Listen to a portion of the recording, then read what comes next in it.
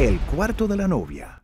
An exclusive look inside a bride-to-be's most sacred place on earth. Bueno, llegamos por fin al cuarto de la novia. Es aquí donde va a ocurrir toda la acción. How do you feel today? Extremely tired. The look for today, natural, Yep. earth tones.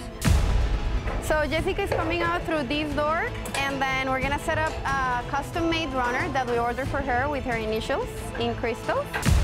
Whatever they want. El Cuarto de la Novia. Real brides.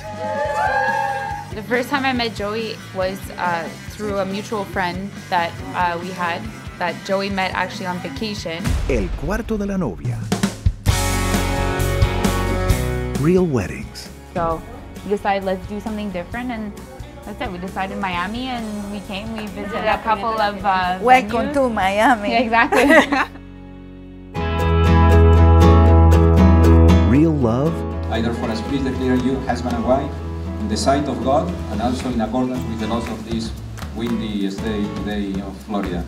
And real drama. so this is one thing that I'm fucking this about. Everything else was fine. It was fine. It was totally fine. El Cuarto de la Novia. Opening its doors for you soon. Stay tuned.